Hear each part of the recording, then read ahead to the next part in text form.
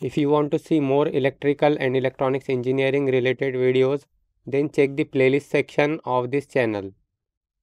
In this video, we will see an example on phasor relationships for circuit elements. Question A series RLC circuit has R is equal to 80 ohm, L is equal to 240 millihenry and C is equal to 5 millifarad. If the input voltage is V of t is equal to 10 cos 2t, find the current flowing through the circuit. So here, first of all, we will write what is given. So the value of resistance is given. R is equal to 80 ohm. Then the value of inductance is given. L is equal to 240 240 millihenry so it is equal to 240 into 10 to the power minus 3 Henry. Then the value of capacitance is given. So C is equal to 5 millifarad.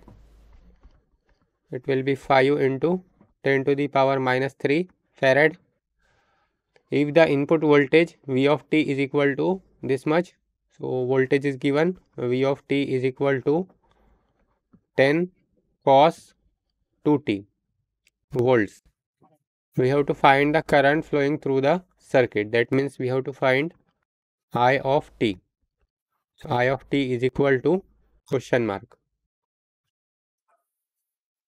Now here first we have to find the impedance, total impedance.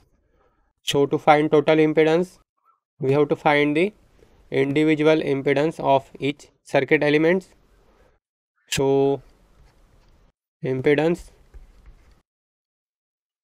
of resistor.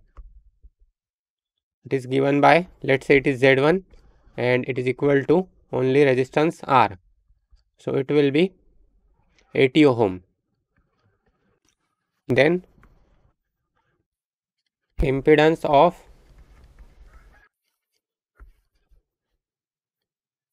capacitor let's say it is Z2 and it will be 1 upon j omega c. So first of all we have to find the value of omega. So let's find the value of omega first. Here we can see the value of voltage is given and we know that V of t is equal to Vm cos omega t plus phi and here if we compare this with this is standard equation so here we can see omega is 2 so therefore here we can write omega is equal to 2 radian per second. So this will be 1 upon j into 2 into c value is capacitance value is 5 into 10 to the power minus 3 5 into 10 to the power minus 3. So, therefore, Z2 is equal to, let us solve this in calculator. We have to put the calculator in complex mode. So, shift 2, it is already in complex mode. So, 1 upon I into 2 into 5 into 10 to the power minus 3. I into 2 into 5 into 10 to the power minus 3 it is equal to minus 100 j. Minus 100 j and since it is impedance so its unit will be ohm. Then impedance of inductor. Impedance of inductor. Let's say it is z3 so z3 is equal to j omega l. So it will be j into omega value is 2 into inductance value is 240 into 10 to the power minus 3 240 into 10 to the power minus 3 so therefore z3 is equal to we can solve this in calculator directly. I into 2 into 240 i into 2 into 240 into 10 to the power minus 3 2 into 240 into 10 to the power minus 3 so it is equal to 0 0.48 j. 0 0.48 j.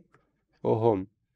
Now we got the impedance of each individual element so now we can find total impedance. Total impedance is equal to z1 plus z2 plus z3 so z1 value is 80 ohm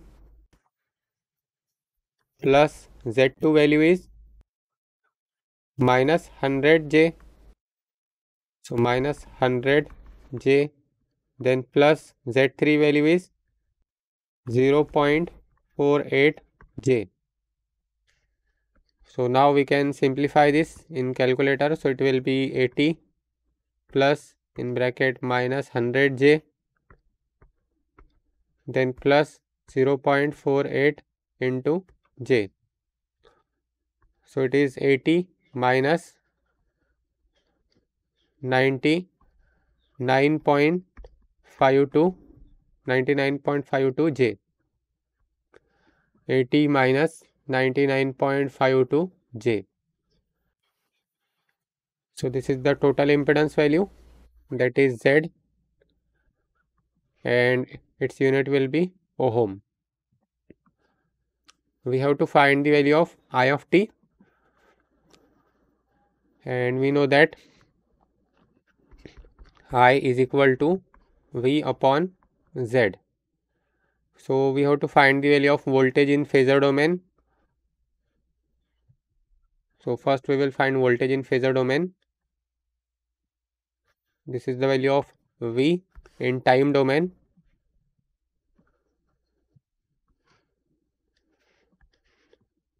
in phasor domain this will be V is equal to 10 at an angle 0 degree and since it is voltage so its unit will be volts. So now we can substitute it here. Let's copy this from here.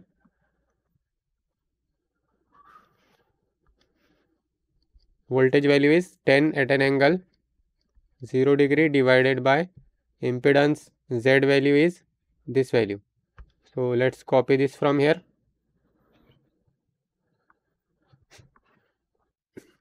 We can solve this in calculator directly so let's solve this in calculator 10 at an angle 0 degree divided by 80 minus 99.52 into j. So, this is in rectangular form in polar form this will be shift to 3. So, it is 0 0.078 0 0.078 0 0.078 at an angle 51.2 at an angle 51.2 and since it is current so its unit will be ampere. Now we got the value in phasor domain format in time domain in time domain this will be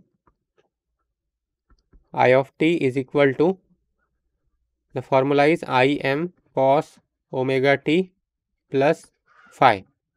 So, this will be I of t is equal to I m value is 0 0.078 0 0.078 0 0.078 then cos omega value is here we can see the value of omega is 2 so this will be 2t plus phi value is this is the value of phi 51.2 51.2 degree and since it is current so its unit will be ampere so this is how we can find current. Don't forget to like, share and subscribe to this channel. Also check out the other videos related to electrical and electronics engineering. And thanks for watching.